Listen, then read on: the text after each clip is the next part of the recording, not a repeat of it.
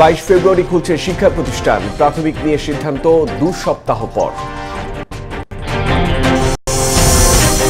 পুরোপুরি স্বচ্ছতার প্রমাণ দিতে পারেনি সার্চ কমিটি বলছে সুজন। বিএনপির নাম না দেয়া নিয়ে মানুষ ভাবছে না মন্তব্য তথ্যমন্ত্রী।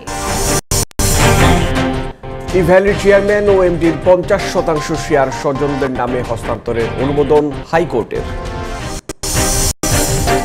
এবং রাজধানীতে চার দিন আটকে রেখে নারীকে সংঘবদ্ধ ধর্ষণ একজন আটক।